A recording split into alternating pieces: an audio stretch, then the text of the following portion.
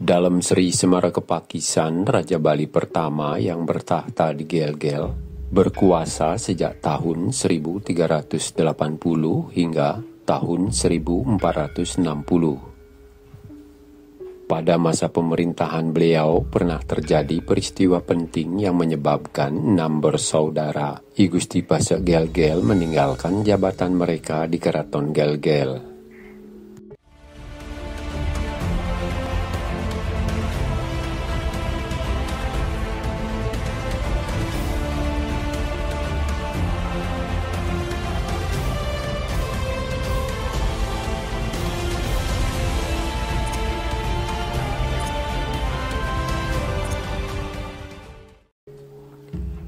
Mereka berenam adalah putra-putra I Gusti Agung Pasak Gel-Gel dari istrinya di desa Gel-Gel. Memiliki nama sama yakni I Gusti Pasak Gel-Gel, mereka mendapatkan kepercayaan istimewa menduduki jabatan strategis di dalam pemerintahan yang menerima perintah langsung dari dalam Semara Kepakisan.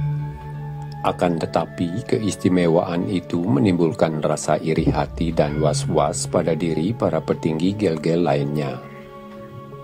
Mereka khawatir Gusti Pasak Gel-Gel bersaudara kelak akan mendominasi jabatan tertinggi di pemerintahan dan kedudukan mereka sewaktu-waktu bisa tergusur karena Gusti Pasak Gel-Gel bersaudara mendapat perintah langsung dari dalam Sri Semara Kepakisan. Untuk mencegah terjadinya hal-hal yang tidak mereka inginkan, maka I Gusti Pasak Gel-Gel bersaudara kemudian diintimidasi baik secara skala maupun niskala.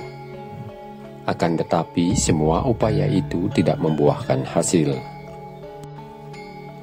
Bagaimanapun konflik itu membuat I Gusti Pasak Gel-Gel bersaudara merasa terganggu. Dan untuk menghindari pertentangan yang lebih besar, mereka berenam kemudian bermusyawarah dan sepakat melepaskan jabatan mereka dengan meninggalkan keraton Gelgel. Mereka memutuskan untuk pergi secara diam-diam pada malam hari, bertepatan dengan tilem sasih kepitu. Ada orang-orang setia menyertai mereka meninggalkan ibu kota kerajaan menuju arah timur sampai tiba di Bukit Buluh, Desa Gunakse. Dari tempat itu, mereka kemudian melihat ada dua pohon beringin besar dan menjulang tinggi di arah barat laut. Terbersit dalam pikiran mereka bahwa pohon beringin itu pasti keramat. Mereka lalu berjalan ke arah pohon beringin itu. Tidak diceritakan berapa lama mereka berjalan, tiba-tiba saja mereka sampai di sebuah hutan yang di dalamnya tumbuh sebatang pohon beringin yang memiliki banyak akar tunggang atau akah dalam bahasa Bali. Hutan itu kemudian dirabas dan pohon beringin itu ditebang. Selanjutnya mereka membangun rumah di situ dan dijadikan tempat tinggal untuk I Gusti Pasak Gel-Gel yang kedua atau nomor dua. Lama-kelamaan tempat itu berkembang menjadi sebuah desa yang disebut Desa Akah. Nama itu diberikan untuk mengenang bahwa di tempat itu dulu tumbuh sebatang pohon beringin dengan akar atau akar tunggangnya yang besar-besar. I Gusti Pasak Gel-Gel yang kedua kemudian menjadi perbekal di desa itu dengan gelar I Gusti Pasak Gel-Gel Aka.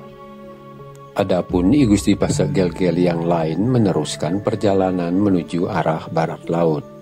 Suatu ketika mereka sampai di sebuah hutan lain di mana tumbuh banyak pohon andong berwarna hijau dan letak hutan itu ngandang atau melintang. Setelah merabas hutan itu, mereka lalu membangun sebuah rumah yang kemudian dijadikan tempat tinggal I Gusti Pasak Gel-Gel ketiga. Tempat yang kemudian berkembang juga menjadi sebuah desa itu diberi nama Desa Manduang untuk mengenang bahwa dulunya tempat itu adalah hutan andong yang andang atau melintang. Desa itu kemudian dipimpin oleh I Gusti Pasak Gelgel yang ketiga bergelar I Gusti Pasak Gelgel Manduang. Selanjutnya, I Gusti Pasak Gelgel bersaudara lainnya meneruskan perjalanan ke arah barat laut. Di dalam perjalanan, mereka menjumpai tempat duduk dari batu berwarna hitam, tetapi mereka abaikan. Dalam perjalanan selanjutnya, mereka tiba di sebuah hutan lain. Seperti sebelumnya, mereka kembali merabas hutan. Setelah merabas hutan, mereka meneruskan perjalanan ke utara dan menjumpai sebuah bukit. Ketika mereka berbalik ke arah tenggara, mereka kembali menjumpai sebuah bukit. Maka bukit-bukit itu diberi nama Bukit Kembar. Di sekitar tempat itu, I Gusti Pasak Gel-Gel bersaudara kembali menebang pepohonan, mulai dari timur terus ke selatan, ke tengah, ke utara, dan akhirnya ke barat. Kegiatan ke sana kemari itu disebut selasah-selesah dalam bahasa Bali. Maka dari itu, setelah mereka membangun tempat tinggal di sana dan berkembang menjadi sebuah desa, tempat itu diberi nama Desa Selesahan yang lambat laun berubah menjadi Desa Selisihan, termasuk wilayah Kelungkung. Berbeda dengan sebelumnya, tidak ada di antara mereka yang menetap di desa itu mereka terus pergi ke arah barat, mendaki bukit yang disebut Bukit Ularan. Dari sana mereka kemudian melihat lagi dua pohon beringin yang sejak semula mereka anggap angker. Oleh karena I Gusti Pasak Gel-Gel bersaudara melihat lagi pohon-pohon beringin itu di arah selatan dari Bukit Ularan, maka nama bukit itu diganti menjadi Bukit Pengukur Ukuran. Dari bukit itu, mereka kemudian berangkat menuju arah selatan. Tempat tumbuhnya pohon beringin kemar itu ternyata sebuah hutan lebat di mana terdapat pula pohon tinggi dan besar lainnya, termasuk sebatang pohon A. Seperti yang sudah-sudah, mereka kembali merabas hutan termasuk pohon A itu. Belum sepenuhnya selesai merabas hutan, mereka lalu membangun sebuah tempat tinggal. Bertepatan dengan hari Minggu Wage Kelurut, I Gusti Pasak Gel-Gel yang sulung bertemu dengan seorang wanita hitam manis berambut panjang yang datang dari arah utara.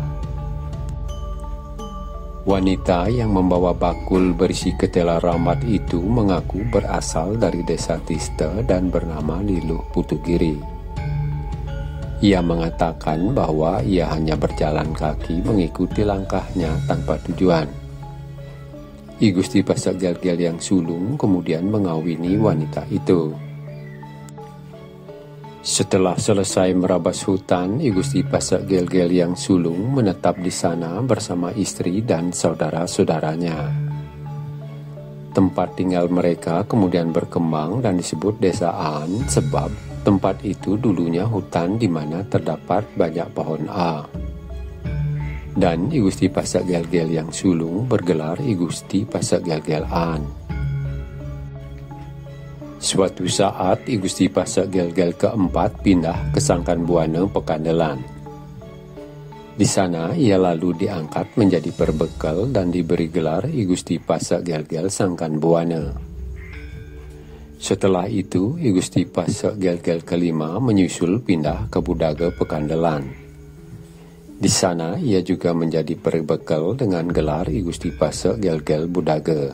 Sedangkan I Gusti Pasak Gel-Gel keenam atau yang bungsu kembali ke desa Gel-Gel dan selanjutnya menetap di Banjar Pegatepan dan bergelar I Gusti Pasak Gel-Gel Pegatepan.